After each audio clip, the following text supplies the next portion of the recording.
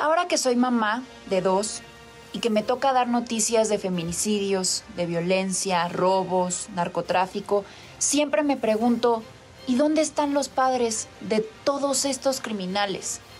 A ver, sí creo que la educación y los valores se inculcan en tu casa, en el seno familiar, pero también creo que llega una edad en la que las personas son responsables de sus actos y los padres ya no tienen mayor influencia en las decisiones que toman los hijos. Pero donde también creo que nosotros como padres de familia tenemos una responsabilidad importante es en el momento en el que tú sabes que tu hijo cometió un delito y no lo haces rendir cuentas ante la justicia. A ver, ahí les van dos ejemplos. El primero, el de un padre que se ganó todo mi respeto en el momento en el que entregó a su propio hijo a las autoridades. A ver, resulta que este chavo estuvo involucrado en una pelea en el Cebetis 40 en Guaymas, Sonora.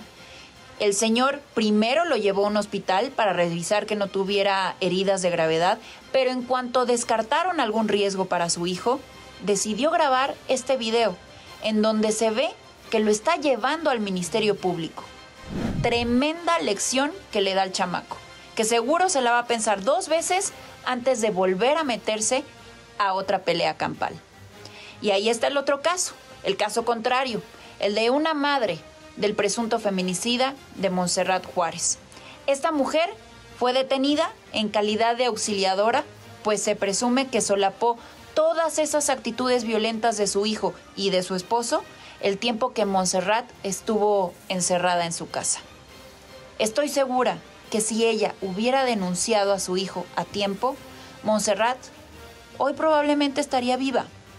Ahora yo les pregunto a ustedes, ¿qué harían si se enteran que alguno de sus hijos cometió un crimen? ¿Lo denunciarían?